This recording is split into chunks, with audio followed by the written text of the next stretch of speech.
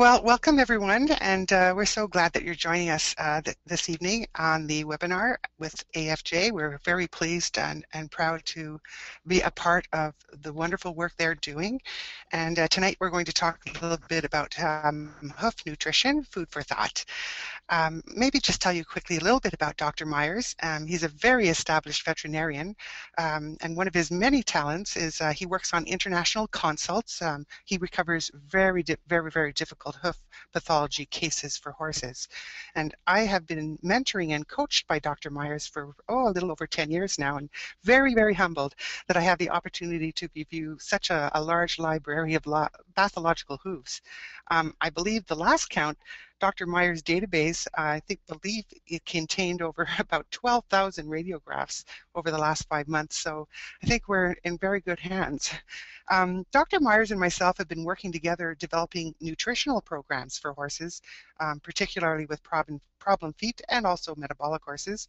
Um, myself about 10 years and Dr. Myers probably closer to 35 years sorry, Dr. Myers, for dating you, but experience is really a good thing so what we found is that nutrition really is key and to help all of us hoof care professionals, um, I think nutrition gives us the means to do the best work we possibly can by promoting a strong, healthy hoof capsule with good sole depth and an increased rate of hoof growth, uh, which really gives us a lot of hoof to work with. We all know it's very frustrating to try and recover hooves with forward dished, flared, shelly feet, thin soles, crushed heels. Um, making any kind of headway is really frustrating, especially when you're constantly running out of hoof to work with.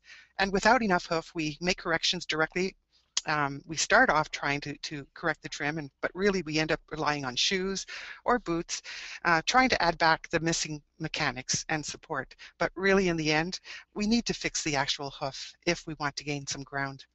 So one of the single most important aids we can provide a horse is offering them nutritionally balanced programs.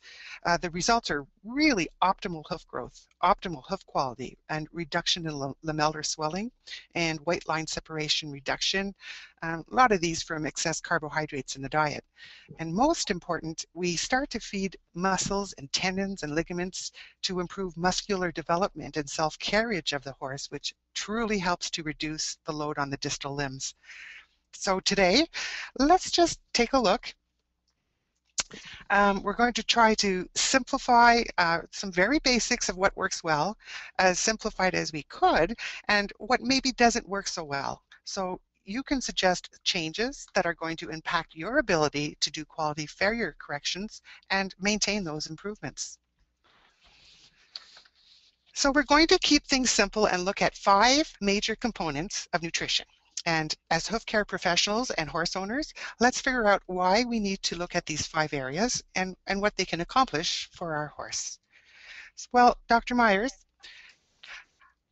why is it that protein is so important in the diet? Uh, even though that protein has been sometimes touted as a terrible thing to be feeding horses, particularly they're worried about feeding too much, uh, protein is required to form muscle and tendon structures as well as all the body organs. And it also forms a portion of the bones and constantly replacing parts like hair and hoof. It's needed to build enzymes which drive all the chemical reactions in the body. Your heart cannot beat without the enzymes driving the chemical reactions required for this function. So could the horse benefit from increasing the protein intake? Oh, he absolutely can. Um, an excess of protein really isn't necessary, but the correct amount at any certain time is crucial for optimal function performance. The problem is that one cannot be completely sure precisely what that amount may be from day to day or even from moment to moment. Okay, so what kind of protein will give us the good hoof growth and how much do we feed of it, say, to an average 1100 pound horse? We do have some more research out there, and Kentucky Equine Research has determined that two to about two and a quarter pounds of protein per day is needed by the horse in moderate work. And here's the trick, and that moderate work is a very relative term. It needs to be remembered that work on the body means that the body is doing something to burn, rebuild, maintain, or repair itself. Horses needing hoof rehabilitation, fighting disease, healing wounds, and any other processes above base maintenance is work. Laminitis can qualify as really hard work, speaking metabolically. Just because a horse is standing quietly in his stall does not mean his body is free from heavy use from internal stressors. One of the hardest working animals on the planet is a dairy cow. Milk production is hard work and they produce massive amounts, yet they are very stoic. The best source of protein should contain all the protein building blocks a horse needs. Many of these building blocks, called amino acids, can be constructed by the horse to form others. For some cases, however, they cannot. Those that cannot, the essential amino acids, must be provided in the diet or some processes will suffer. If sulfur-containing amino acids are not available, like cysteine or methionine, then hoof growth and repair will be severely limited. Soybeans are the most complete source of essential amino acids produced by plants. Pure soybean meal contains about 44% protein, which is also the most concentrated protein source as well. You know, it's really interesting when you look at this chart. Notice how nutritionally complete soybean is with the red highlighted values showing the highest yield of each amino acid. There's a difference between full-fat soybean, which is the entire bean and its contents, and other available forms such as soya meal, which has varying amounts of the fat portion removed. So not to be confused with soya isolates, which is the byproduct that people talk about with big concern in the food industry. So if your horse can utilize the extra calories, full-fat soybeans are a truly amazing whole food. Soya meal, however, is generally better for the easy keepers because the fat is basically removed to control weight gain. Notice how the protein gets digested very early in the game, in the small intestine, or also called the foregut, not in the large intestine. So you can see why the easier digestible forms of protein would be more useful since you only have about maybe two, three hours for complete digestion of protein between the time you intake it into the body and passing it out of the small intestine into the large. So that's where you really start to see some major hoof quality improvements, feeding the better quality forms of protein that get utilized, get absorbed really, really, well by the body up front. So why then do we need vitamins, minerals, and essential amino acids? How do they fit into the picture, and really, what's the skinny on them? Well, proteins are constructed of smaller portions called amino acids, as we mentioned earlier and named a few. Uh, these protein building blocks give each protein its individuality that allows it to perform different functions and to construct different parts of the body. Many amino acids can be made by the horse, but a few cannot. The ones that cannot are called the essential amino acids. The two main ones in the horse are lysine and threonine. The sulfur-containing amino, amino acids, cysteine and methionine, are not easy to construct and should be present, although there are more sources of these than the lysine and threonine. Once all the nutrients are available, the body needs to know what to do with them. Vitamins and minerals act as messengers in a sense, frequently attaching to proteins and carbohydrates to assist in their chemical reactions or absorption. Vitamins also play a role on a larger scale to maintain the integrity of tissues such as skin, mucous membranes, blood formation, and much, much more. You can't afford to try to cut out, cut out one of the nutrient groups in favor of another since they, they need all of the nutrient mix in place for the horse to function optimally. Well, then what about protein in hay? does any of that protein get broken down in the small intestine or does it all get pushed to the hind gut? Well, hays contain varying amounts of protein, and they also do not contain all of the varieties of amino acids that soybean and some of your other protein supplements do. Um, but they're also composed of cellulose. That's an external support structure of the cell that has greatly diminished digestibility. Many studies have been done on the protein digestibility in hay and is extremely diverse in the results. Some poor quality hays release no protein during digestion, and 60% is about the maximum that has been found to be available from even the higher quality legume hays. It must be remembered that hay does not contain all the essential amino acids in good quantities, so more hay must then be consumed to meet requirements. Much of the protein within the hay will find its way to the hind gut, where different processes are at play. The bacteria of the hindgut are able to break down the hay and utilize the protein that is contained, but the bacterial proteins and any proteins they release are very poorly absorbed in the hindgut. There are no digestive enzymes in the hindgut, nor transport systems to bring proteins into the body. Uh, okay, you know, I think we need to look at a cow, and the reason being is we do so much of our hay analysis, and a lot of it's originally been based on the cow. And I think that's going to help us understand where we're going and how it's going to help us to create a, a more healthy foot. Um, looking at this slide, the cow's first stomach, called the rumen, is front end loaded with bacteria very different from the horse. And these bacteria in the stomach break down the proteins and even make proteins from other sources like nitrogen and urea. So then when they reach the small intestine, enzymes can complete the process and absorb the amino acids into the bloodstream. It's a little bit different with horses. In the case of a horse, the stomach contains sorry, hydrochloric acid and a few other things, but does not contain any notable levels of bacteria to break down the locked up forms of protein that are found inside the plant cellulose. So whatever manages to be synthesized completes the digestion in the small intestine and then absorbed into the bloodstream, but it's not a whole lot.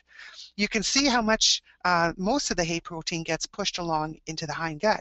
So when you receive a hay analysis with, say, 8% protein level for hay, while a cow can easily utilize that full 8% protein, the horse will lose a great deal of opportunity to digest it. So you can make a pretty educated guess that a much smaller percentage of protein is actually making it to the body and why that's so important for farriers, for trimmers. Uh, we need that protein to feed muscles and tendons and ligaments to feed bones and organs and to definitely feed the hoof structure. And this is where we personally see a huge difference when we get our nutrition turned around, we get our feet turned around. It would also stand to reason then that a lot of our pastured horses on grass and free access hay tend to overconsume in volume because they're trying to make up the shortfall in protein requirements each day.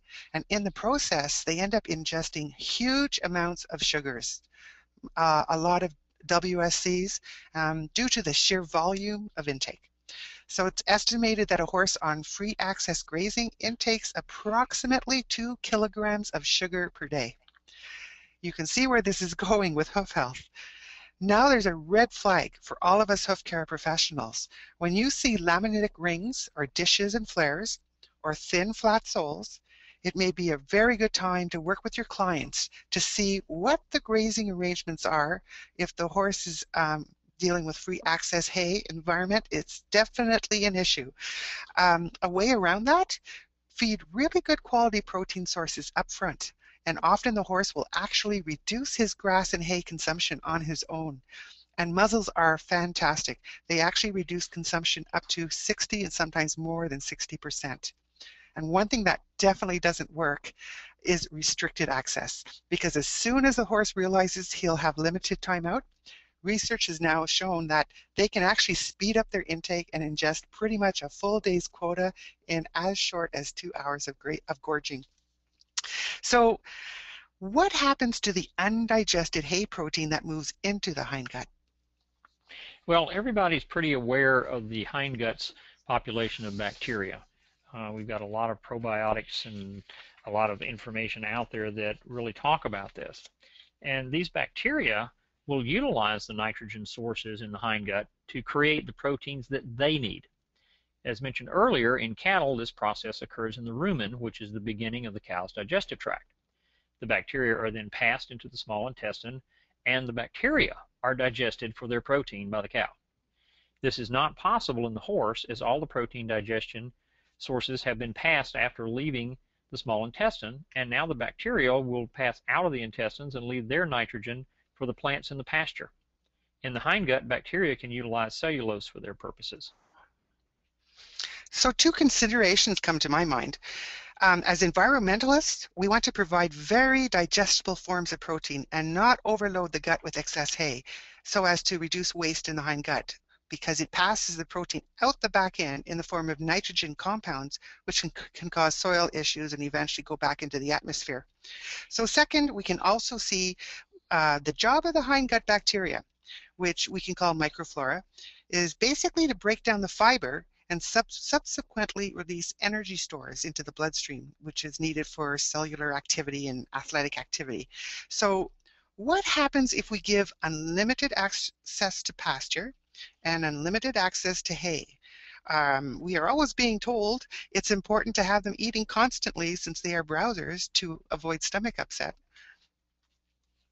Well, remember how the bacteria function. They break down the cellulose into simpler components.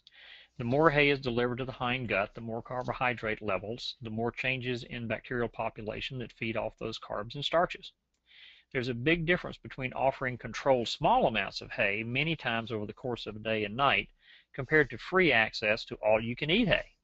Overconsumption can indirectly alter the environment of the hind gut so the good bacteria do not function or survive as well. Uh-huh. So can you explain how excess carbohydrate intake can be detrimental for hoof health? Well, really to simplify the, the complex cascade of events, carbohydrate excess causes blood sugar spikes, which are followed by insulin spikes.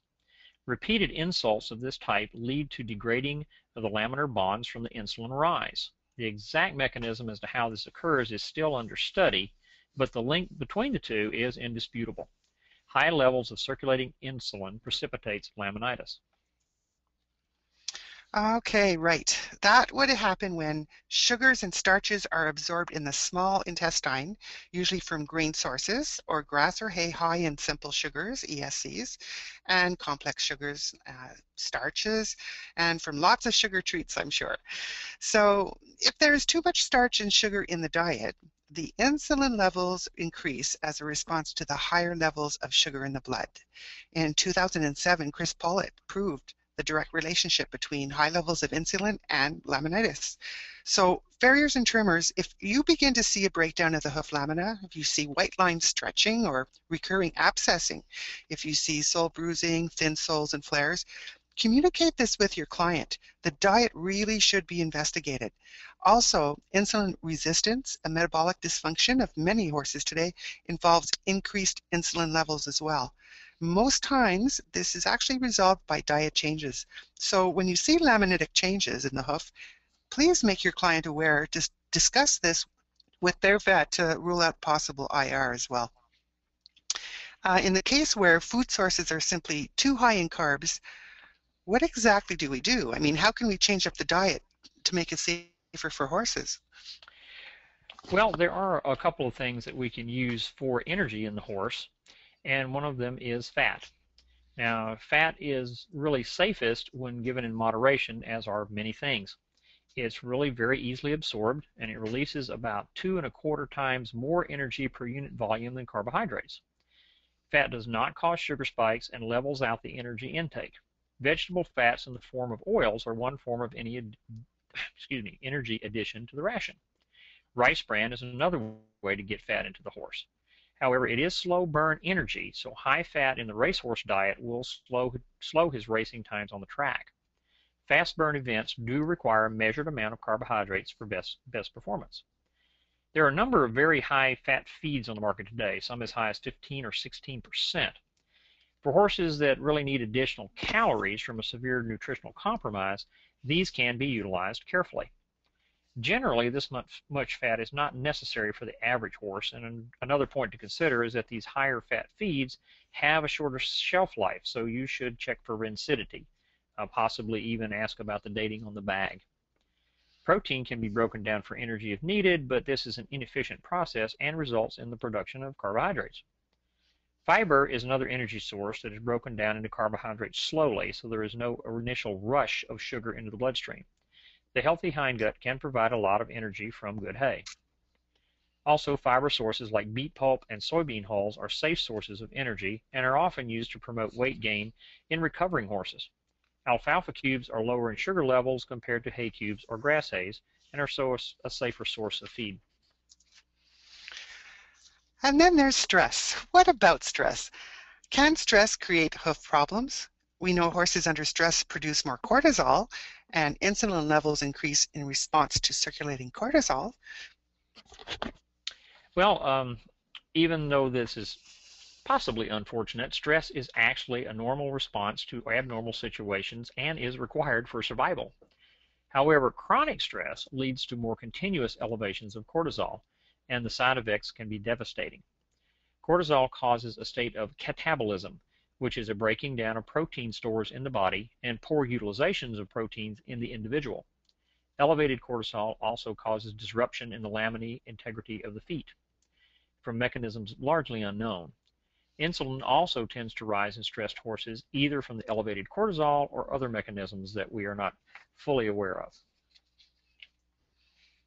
So keeping on the subject of stress and, and hoof health, there's a lot of talk about lactic acidosis or subclinical lactic acidosis of the hindgut. What is this and does this affect hoof integrity?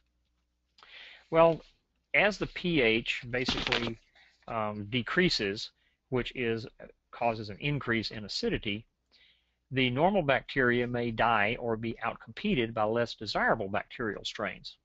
Streptococcus bovis is an acid-loving bacteria that can secrete exotoxins. Uh, these are toxins directly released by the bacteria while it's still alive, and these directly impact the laminae. Dying bacteria may release endotoxins from within their cell structures that can also cause laminar degradation. So, Dr. Myers, what is your feeling about uh, the use of prebiotics and probiotics to help stabilize the hindgut and prevent lactic acidosis? Well, there are a lot of products out there that are labeled as helpful in maintaining the gut flora. It is difficult to determine which ones are best for two reasons. One is that horses differ in the specific types of bacteria living in their gut as do humans and all other animals. So there's a degree of difference as to which products will benefit which horse. Secondly, there is very little good research out there to tell us which products work well in most cases. There is a study that notes Lactobacillus reuteri is not an optimal additive for hindgut assistance. It is detrimental in the study. Live yeast cells are safer to promote pH stability rather than direct inoculation of bacteria, and the yeast cell has been well researched and documented, documented for its benefits. The challenge is to deliver it to the hindgut alive. Encapsulation techniques and extremely high cell counts in the high billions have made this possible. Interesting. I, I, can see that in our research, um, we turn around an awful lot of horses that really just aren't responding even to nutrition. And when we start to stabilize the hindgut, we get a very, very quick uh, result, which, which is telling us we need a lot more research in this area. Uh, what about young horses? How should we feed young horses to ensure good, healthy hoof formation? Yeah, the, the young horse is a little bit different in feeding the fully adult horse. The proper amounts of good quality protein are an absolute must for the growing horse, as you might imagine. The young horse requires more quality protein per pound of body weight than the adult. Also, the young horse is adding body weight at, at a rapid rate, um, which factors into this equation. Add in adequate energy with proper balance of vitamins and minerals, and you have a formula for success. A very important point in the growth of a young horse is that the growth curve must be smooth. Youngsters gaining weight rapidly frequently have the amount of feed lowered to slow the rate and then raising the ration again as one now has dropped too low. This causes a wavy graph of the growth rate. This is the only specific nutritional event linked to bone development problems in young horses in the research arena. Developmental problems in young horses have not been directly linked linked to protein or carbohydrates as a specific entity in the diet. So restricting protein is detrimental to the young horse. Protein restriction will not prevent OCD or other developmental problems. Very good advice. How should we feed older horses at the opposite end of the spectrum? How do we maintain good, healthy hoof formation? The older horse uh, has a little different problem in that he's begun to actually lose some of his ability to digest feed efficiently. To counterbalance this phenomenon, provide high quality feeds, safer energy sources limited to horse activity and body condition, and easily digested protein sources balanced with good vitamin, mineral, and essential amino acid levels. Increased protein intake is usually beneficial since it has been found that 80% of horses at 18 years of age or greater will have some degree of pituitary gland tumor tissue beginning to form and becoming active. This precipitates Cushing's disease or PPID and raises cortisol levels and insulin levels that can affect hoof integrity. So adequate protein levels for hoof repair and maintaining good muscular condition to support the limbs is very, very important. Okay, that's extremely good advice. Um, as farriers and trimmers, we actually deal with a lot of geriatric horses, and we can see the hoof health very much declining over time, but that is recoverable. So the first thing we're all going to jump out is uh, run out and look at the NRC, which is Natural, National Research Council um, rules and regulations and levels for safety, um, what are your thoughts on feeding programs following NRC recommendations? Well, the NRC does a lot of good work, and it constantly reviews data relating to feeding practices and available feedstuffs. They change their recommendations at intervals as more information is accumulated over time. They are very conservative in their recommendations and usually a few years behind the most current research because they are more of a storehouse and review rather than a forward-thinking and creation type of in, type of uh, industry. Basically, if they say this is a minimum amount needed, it is actually under the true minimum amount actually required for good performance. Very interesting. What are your thoughts on feeding supplements? Well, pure supplements are targeted to a specific condition. They also need good general nutrition with their use to work properly hoof supplements often seem to work when they may actually be subconsciously assisted by the owner or stable manager. Uh, these people will then feed, feel since they are in need of a supplement, they will upgrade the diet as well, and this diet upgrade will have as much or more effect than the supplement.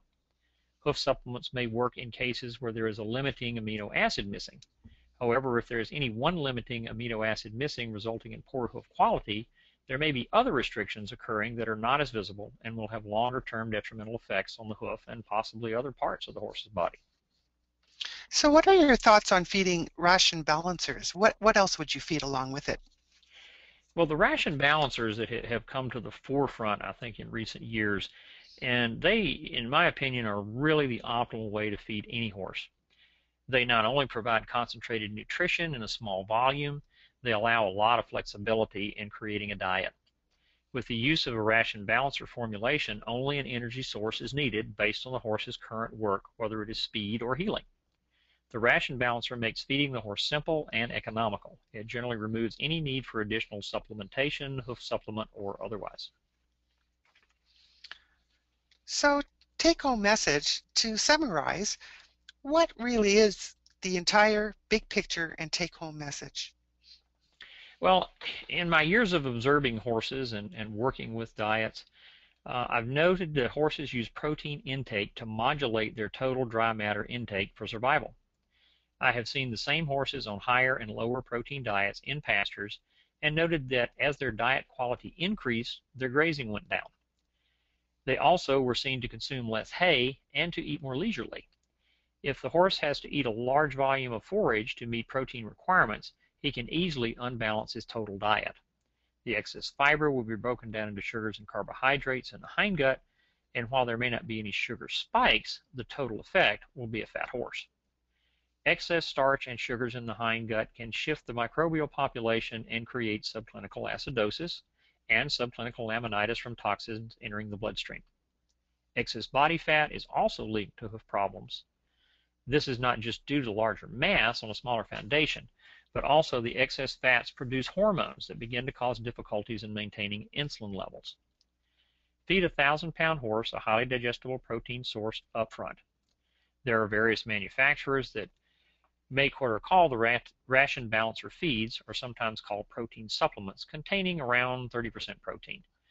They contain all the vitamins, minerals, and essential amino acids the horse requires, together with a highly digestible source of protein concentrated and fed at a very low feed rate protein is efficiently absorbed in the small intestine, provide plenty of fresh water and fiber and forage fiber source at about 1 to 1.5% of the horse's body weight.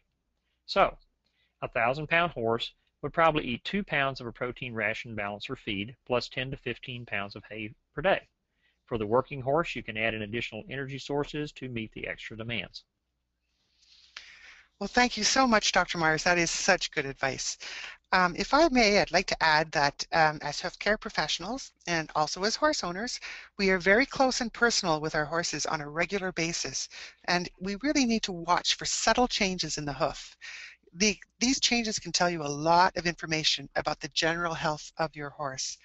If you see any kind of red staining either on the hoof wall or sole, in the white line or under the bars, this is not normal. It is a sign of lamellar swelling and damage. It is directly related to nutrition in the majority of the cases. So remember, the horse is an athlete and he needs to be fed like one. A strong body, self-carriage, symmetrical muscle development, it goes a long way to support the lower limbs and takes some load off the hooves. Protein builds the muscles, the tendons, ligaments, and bone if a horse is suffering from hoof imbalances, they may burn twice as much energy as a horse that is sound. So you may need to adjust for higher caloric intake, but use safe forms that don't spike insulin levels and don't cause laminitis. Higher protein intake is very effective for hooves in rehab to ensure good growth rate and good quality hoof grow out.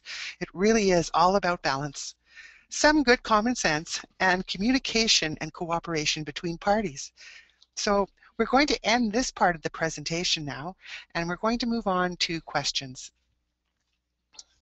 So to start with, we have a, um, it's a very typical question. Uh, Dr. Myers, maybe you can explain. So many people are worried about feeding protein because they feel it makes the horse hot. Oh, I, I get that all the time. And there's really a very simple way to look at this. Um, if, and a great many of you have children, and if you feed your children a steak, do they really get all that crazy? Uh, but if you feed them some nice sugary things and candy bars and such as that, does that wind them up? Um, it's kind of odd to think why that horses are the only mammals or even animals on the planet that have been accused of becoming crazy from consuming protein. Uh, there's kind of a circuitous explanation of how this happened. Uh, in feeding livestock, which many years ago horses, uh, horses were livestock in all states, and they are not in Virginia anymore, they're companion animals. But the protein is very important in order for these animals to produce meat, to produce milk, uh, everything that they do uh, cattle, dairy cattle get about a 22% protein ration and they eat a lot of it. Uh, hogs get 18, goats get 17. Feed a goat less than 17% protein, he is not going to produce meat.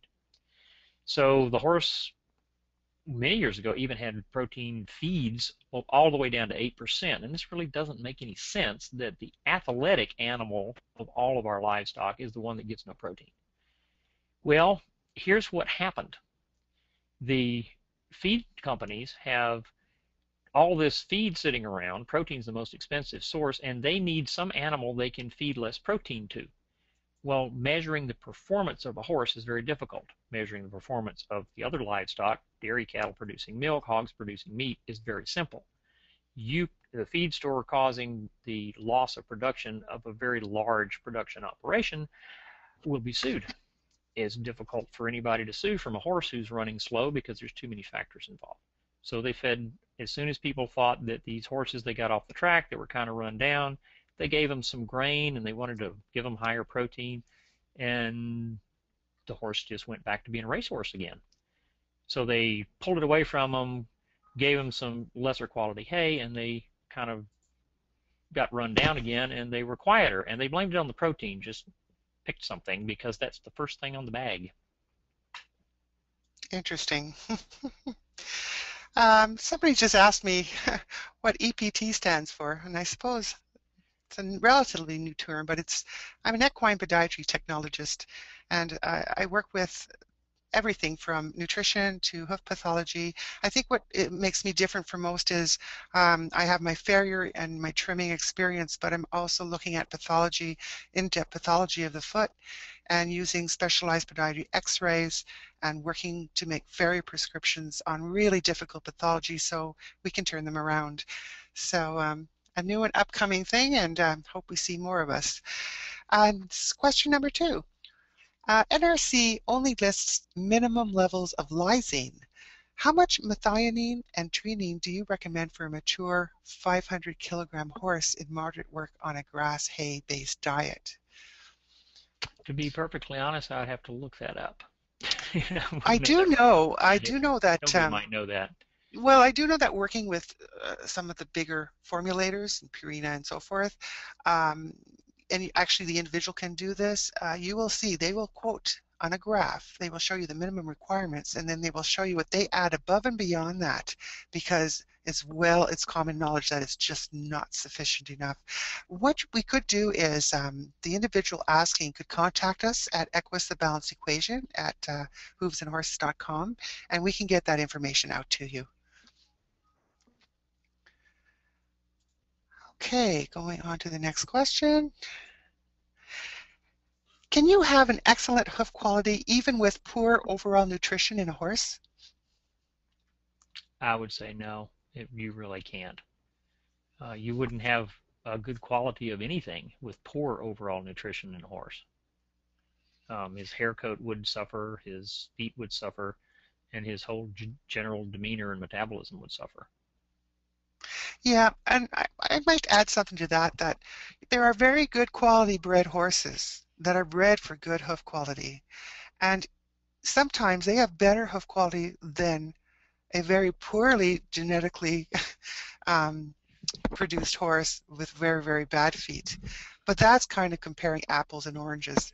The bottom line is if you looked at that hoof, um, it may look pretty good, but if you have malnutrition, and malnutrition isn't starving the horse, it's simply not receiving the nutrients, you're going to see down the line, particularly, an increased um, incidence of failure of tendons or basic muscle problems. You're going to have veterinary calls uh, as the horse gets older or as you put them into extreme work, they break down really quickly.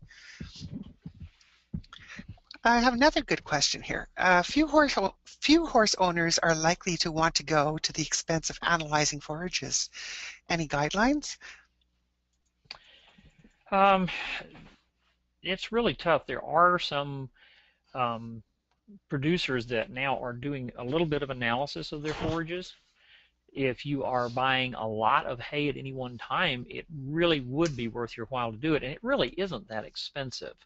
Uh, there are some labs out there, depending on your area, uh, that can turn it around pretty quickly for you too. Um, we use one in uh, our area that's Dairy One, and they're not in Virginia, but they are uh, readily available. We can get results back in just a few days, and it's not even most of the time doesn't even cost you fifty dollars. Yeah, the nice thing with with near near infrared is they now have a, a large enough batch lot uh, to basically do an average where a few years ago they didn't have a large enough lot sampling. So now it's really very accurate. We do an awful lot of uh, analysis and I can tell you that we've been double checking between wet chemistry and near and they're pretty bang on now. So they're oh, sometimes $15, $20 for um, near analysis for all your basics. So it's really worth your while. Ah, when feeding supplements, I have seen some of my clients combine the different supplements for one feeding. To me, this does not seem correct in that you are changing the values of the supplements that they could work against one another in blanket feeding, so to speak. So it looks like you're you're feeding different combinations of different supplements. Yeah, I would really agree with that. The supplements, when they are formulated, are generally formulated to be fed pretty much you know by themselves. You're not supposed to take four or five different supplements and blend them all together and then feed them to the horse because that's basically a totally reformulated supplement that nobody has even done any work with. Uh, um, there, I've seen people feed three or four different hoof supplements trying to hope that if they throw bunches of them together that then it's going to work better and I see people feeding a lot of supplements, I will go back and I'll just really look at the feed that they're feeding. And they'll be buying the least expensive feed they can find anywhere in the vicinity and beyond. And it, that's just kind of silly. If they buy a really good feed, they probably wouldn't need any of the supplements. And a couple of feed companies, Purina being one of them, uh, did some math on feeding a variety of supplements to try to make up for poor quality feeds, even using their poor quality feed and the prices. And it was less expensive by far to feed the high end feeds than it was to feed the low end feeds with supplements. Now there's a question five, and I know that we had a slide specifically um, speaking to that, but uh, I think it's good to go through it again. Can you specifically recommend some highly digestible protein sources? Well, the, the main one is the soybean meal, and it is the, the premier protein that is found in all your ration balancers. There are others, and there may be areas in the countries in, of the world where soybean is not that plentiful. Uh, there are a variety of other beans that are used. Uh, in Australia, they even use peas. These are not going to have the same, excuse me, protein balance as soybean, but they can be utilized if, if you're cautious and mix some of them together. We have cottonseed meal that's pretty good. However, cottonseed meal has to be very specially prepared for a horse to eat it or it will kill him. It contains a toxin called gossypol that has to be removed from the cottonseed meal. So while it's cheap to be fed to cattle, it is not cheap for horses because you have to specifically process it for their use. Right.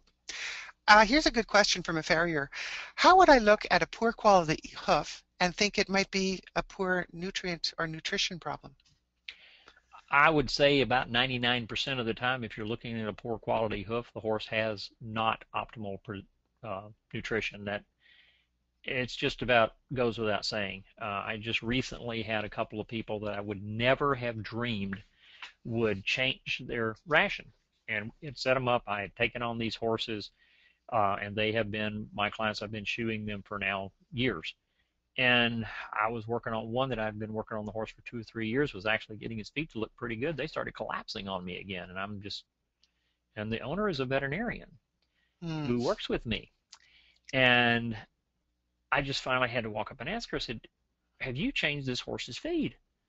And oh yeah, you know we were feeding something else at the barn all, and and uh, she's feeding him again, and, and his feet are looking better. But yeah, if, if the feet are collapsing, the feet are you're getting a lot more folds, flares, bars don't hold up like they used to. You're getting some either poor nutrition or you're getting some sugars added to the diet from some source that it may be unknown, and it's usually in the pasture or in the hay when you're not really finding the sugar source.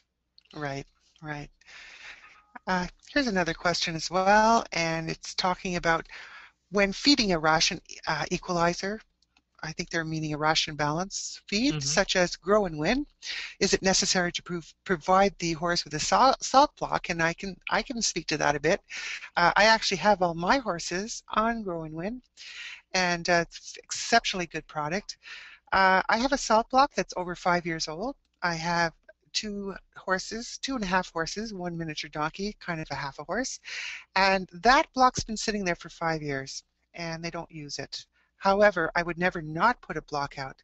But the thing is, when you start to get into really balanced nutrition, uh, they generally have good fortification in the feeds. There's always going to be exceptions, and of course, once you start working horse and they start sweating and losing some of their electrolytes, you're going to have to replace that. But generally, as a rule, what I see is when you have very good balanced nutrition, they don't need a whole lot of extra salt. Again, unless there's a specific reason for it. Mostly work. Okay, how are we doing here for time? We have a few more questions anyways. Uh, let's see, this one looks pretty good. Um, if an older horse's hoof becomes thinner with age, is this why they are subjected to getting abscesses because their hooves are so vulnerable to picking up stones?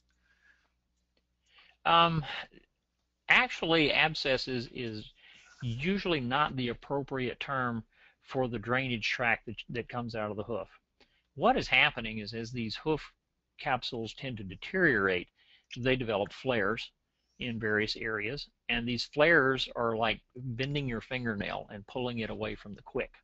they'll do that in various spots around the hoof, pull that loose, and cause a little bit of damage to the laminae. The damaged laminae, some of them will die, they'll start to be replaced, and the old dead ones will liquefy. And that's that really nasty smelling stuff that comes out of there.